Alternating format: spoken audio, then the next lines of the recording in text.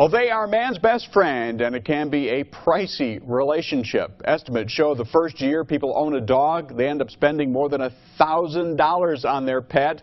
So what is really worth the cost? News 10's Haley Nelson here now to explain. Haley, you talked to a local groomer and a dog trainer. Yes, David, and from at-home grooming to what games to play with your dog, there are some big ways you can save money and make your pet's life even better. First, I stopped at the Elegant Pooch Pet Salon in Lansing.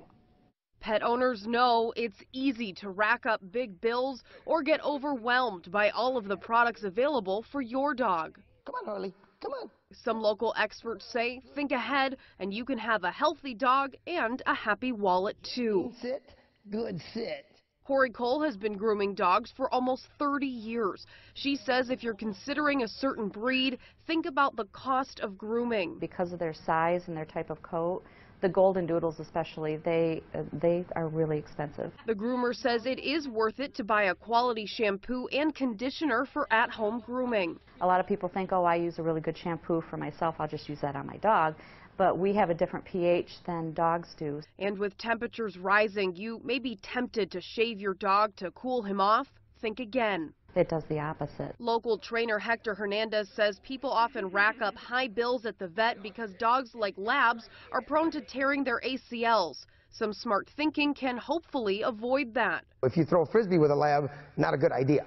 Really? Or a German Shepherd. No, because they're, they're not flexible. Don't spend your money on treats. Hector uses dog food and no need to buy a ton of toys. A few will do.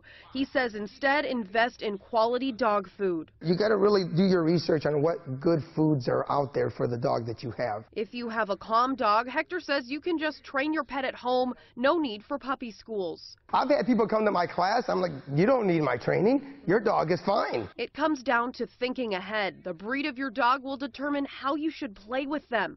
Terriers try fetch and tug of war. Labs love water. It's a relationship that you have to spend a lot of time in. Wondering what dog food to get? Hector says go online to the FDA's site, check ingredients, and talk to other dog owners. Corey, the groomer, says beware of bugs this year, fleas, ticks. They are seeing a lot of bug problems. Now, another dog myth wanted to debunk this morning. Uh, Hector was telling me a lot of times people will buy the first dog that comes up to them, like, right. oh, this dog and I have a connection. Right, right. No, that is a hyper dog. that is a dog that you're going to have to put a lot of time into training. Good Yeah. information. Wow, the breed of that dog is key, Key. To learning everything about it. That's amazing. Time now to get the. Uh, well, they are man's best friend, and it can be a pricey relationship. Estimates show the first year people own a dog, they end up spending more than a $1,000 on their pet. So what is really worth the cost? News 10's Haley Nelson here now to explain. Haley, you talked to a local groomer and a dog trainer. Yes, David, and from at-home grooming to what games to play with your dog, there are some big ways you can save money and make your pet's life even better. First, I stopped at the Elegant Pooch Pet Salon in Lansing. Pet owners know it's easy to rack up big bills or get overwhelmed by all of the products available for your dog. Come on, Harley. Come on. Some local experts say think ahead and you can have a healthy dog and a happy wallet too. Sit. Good sit. Corey Cole has been grooming dogs for almost 30 years. She says if you're considering a certain breed, think about the cost of grooming. Because of their size and their type of coat, the golden doodles especially, they, uh, they are really expensive. The groomer says it is worth it to buy a quality shampoo and conditioner for at-home grooming. A lot of people think, oh, I use a really good shampoo for myself, I'll just use that on my dog.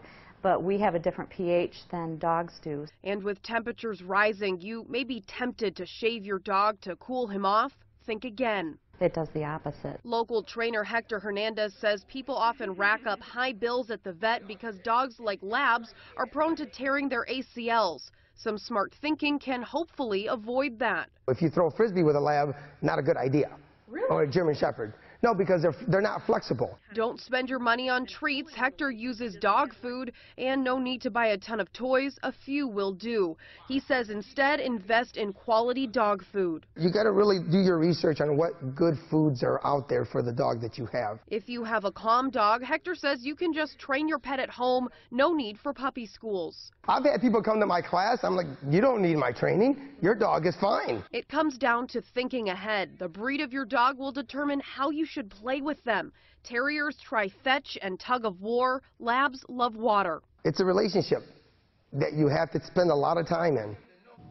Wondering what dog food to get? Hector says go online to the FDA's site, check ingredients, and talk to other dog owners. Corey, the groomer, says beware of bugs this year, fleas, ticks. They are seeing a lot of bug problems. Now, another dog myth wanted to debunk this morning. Uh, Hector was telling me a lot of times people will buy the first dog that comes up to them, like, Right. oh, this dog and I have a connection. Right, right. No, that is a hyper dog. that is a dog that you're going to have to put a lot of time into training. Good Yeah. information. Wow, the breed of that dog is key, Key. Very to key. learning everything about it. That's amazing. Time now to get the